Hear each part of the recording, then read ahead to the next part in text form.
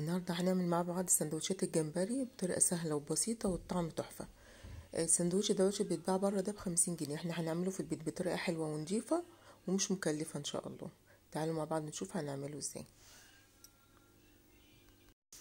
السلام عليكم ورحمة الله وبركاته. إزيكم حبايبي عاملين إيه؟ يا رب تكونوا بخير. نبدأ الفيديو بتاعنا بالصلاة على سيدنا محمد وعلى آله وصحبه أجمعين. النهاردة هنعمل مع بعض الجمبري بطريقة سهلة وبسيطة. ومكونات إن شاء الله تكون يعني موجودة في البيت ما عدا الجمبري يعني إن شاء الله نجيبه من بره. معانا نص كيلو جمبري. الجمبري ده أنا بجيب الجمبري البلدي وبقشره في البيت. هنتعب شوية بس الطعم بيبقى مختلف عن الجمبري الكياس. الكياس ده بيبقى عامل زي كاوتش كده وملوش أي طعم. فإحنا نجيب الجمبري طبعا اللي أنت عايزاه يعني بس أنا بحب أجيب البلدي دوت وبقشره في البيت. ده حوالي نص كيلو. بنقشره بنغسله كويس قوي ونقشره. آه معانا بقى تاني دقيق. ونشا دقيق على نشا ومعانا آه شوية بهارات كده يعني. طبعا القشر إحنا مش هنرميه إحنا هناخد الجمبري نعمله ونستفيد بالقشر برضو. ممكن تسلقيه تعمليه شوربة ممكن تعمليه بالشوربة دي ملوخية أو تشربيها كده. ممكن آه تعملي بيها بودرة ممكن أبقى أعملها معاكم مرة بودرة. بتتحط على الرز بتاع السمك أو تحط على السمك زي التتبيلة كده يعني. المهم معانا هنا بهارات معانا بابريكا. وبصل powder وتوم powder وفلفل أسمر وملح وكركم. كركم عشان اللون. هنجيب بقى بولة نحط فيها شوية دقيق. وهنزود لو احتاجنا يعني بنعمل كده العجينة اللي هنحط فيها ونشوف هنحتاج ولا مش هنحتاج. هنقلب بقى البهارات دي كده على بعض عشان هناخد نصهم هنا ونصهم على الدقيق.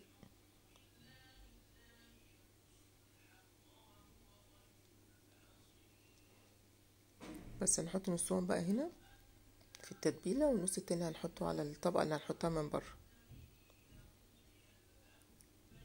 هنجيب مية بقى بعد ما نقلب ده مع بعض. شوية ملح هنا وهنا عشان ما ننسيش الملح.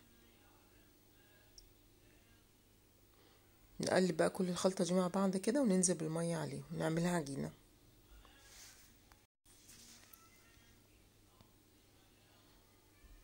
هننزل بالمية بقى واحدة واحدة كده لغاية ما نشوف القوام اللي إحنا عايزينه.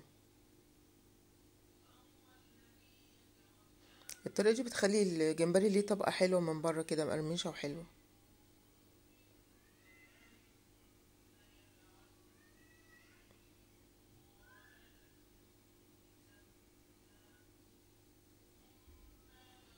هنزود شوية دقيق كمان عشان حقيقة الكمية صغيرة. بس نقلب بقى كده.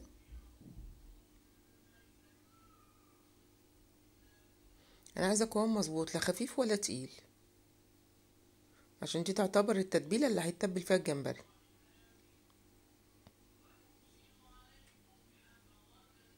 كده قوام مظبوط نحط بقى الجمبري. الكمية باينة إن هي صغيرة لكن لأ لما تتقل هتعمل آه كمية كبيرة.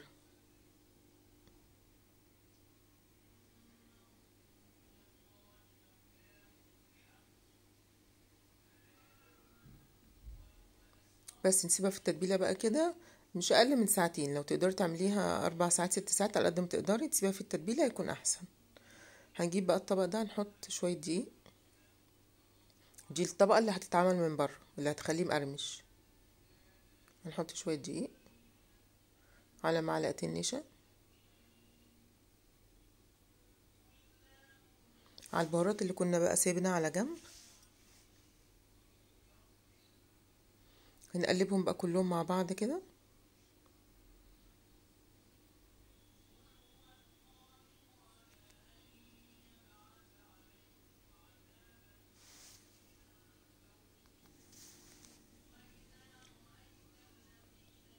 هنا بعد ما سيبنا بقى الجمبري في التتبيلة شوية هناخد بقى الجمبري كده ونحطه في الدقيق.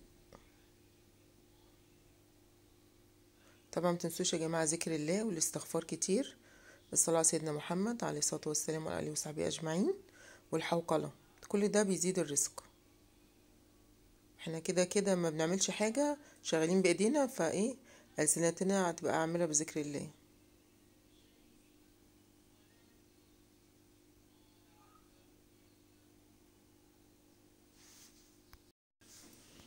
نغلف بقى الجمبري حلو بالطبقة بتاعت الدقيق دي كده عشان دي الطبقة اللي هتتعمل لنا من بره اللي هتخلي الجمبري مقرمش معانا. هنا كنت بحسب الكاميرا شغالة لقيت الكاميرا مش شغالة كنت قليت أنا كمية فقلت اقلي معاكم حبة كمان. هننزل بقى بالجمبري واحدة واحدة عشان ما تحطوش مرة واحدة علشان الزيت ما يبردش منك.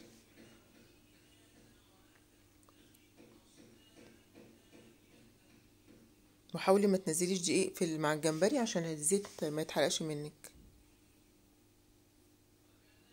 ننزل كده واحدة واحدة. يا ريت يا جماعة تدعموا كده بال like وال share و subscribe. عشان القناة تكبر بيكم وليكم إن شاء الله.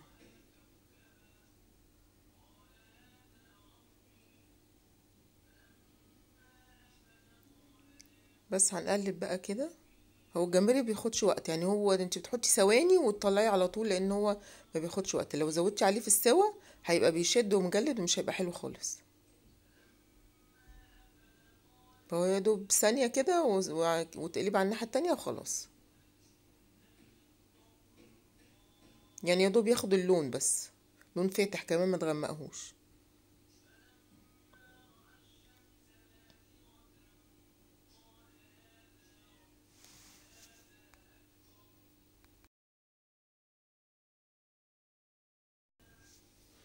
هنا بقى هنعمل سندوتشات مع بعض. عايز تحطيه في عيش سوري في عيش فينو اللي يعجبك. حسب ما أنتوا بتحبوا هنعمله في عيش فينو كده.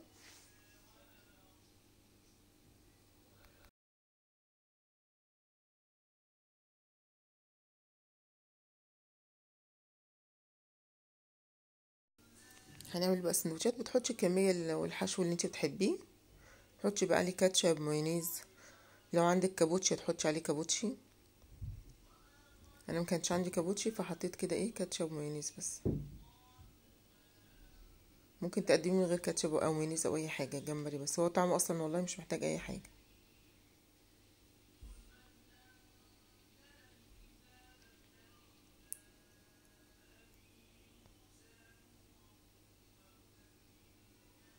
هنعمل برضو سندوتشات بطاطس ونحط عليها برضو كاتشب مايونيز كده.